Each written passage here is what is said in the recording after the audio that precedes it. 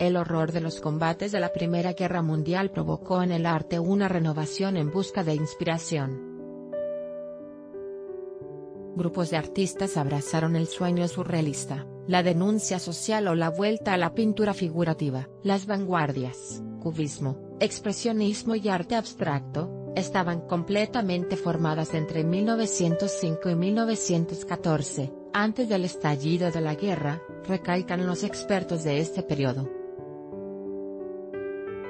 Lo que pasa en 1917-18 es que la terrible tristeza se plasma en expresión artística, marcada por imágenes congeladas, colores sombríos, explica el profesor Peter Reed de la Universidad de Kent. La civilización quebró. Los artistas llevan a cabo una campaña de desmoralización para reinventar el mundo. Hay interés por Marx, transformar el mundo y por Rimbaud cambiar la vida añade. El frente también separó a muchos artistas que eran amigos. Se forman nuevos grupos.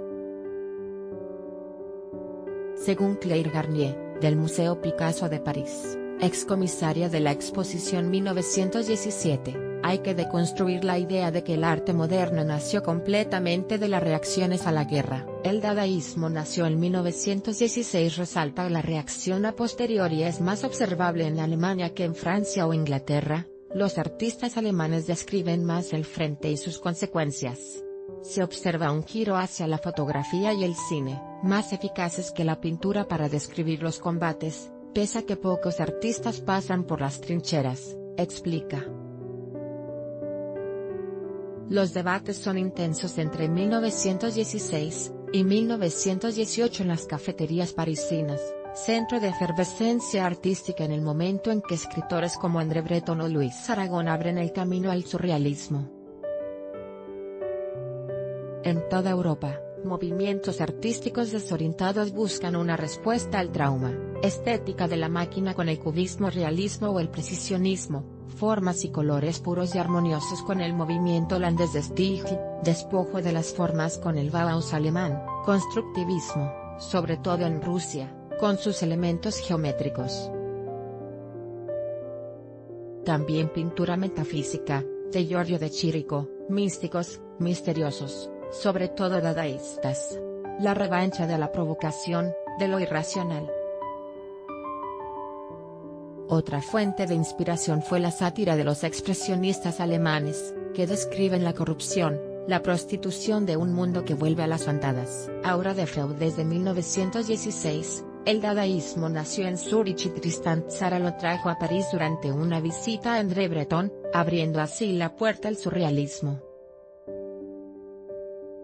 Los pintores se radicalizan en la elección de los temas, explica la historiadora Annette Beca, profesora de la Universidad de Nanterre. Estoy convencida de que, Marcel, Duchamp pensó en las trincheras en 1917 cuando inventó su conocido orinal, una burla en un momento en que hay tantos hombres mutilados, incluso sexualmente, cita a modo de ejemplo. Freud ejerce su aura. Se trata de buscar un futuro mejor sumergiéndose en las profundidades del inconsciente, en reacción al espíritu demasiado automático, frente al mundo de la máquina, en el que el hombre es un pequeño engranaje, afirma Peter Reed. Algunas experiencias posguerra son fuentes de inspiración. El delirio de los soldados conmocionados pudo inspirar la escritura automática. Otros como Picasso aspiran al orden. Su vuelta a la pintura figurativa es polémica. Picasso crea escuela y muchos artistas que habían sido cubistas y futuristas vuelven a un estilo clásico de figuración, a los modelos del Renacimiento. Vieron cómo la sociedad estalló y buscan amarras, una base sólida, explica el investigador británico. Todos los artistas pintan como antes, pero escenas de una dureza terrible. Entre los alemanes el dolor se ve todavía más, por ejemplo con Gross, Dix y Beckmann, enumera Netwega. Los alemanes derrotados fueron quienes pintaron a más mendigos, a los mutilados de guerra, de Moscú a Nueva York en Rusia, la revolución bolchevique había creado una ebullición artística pero el régimen comunista la acabó frenando, lo que desembocó en el realismo socialista.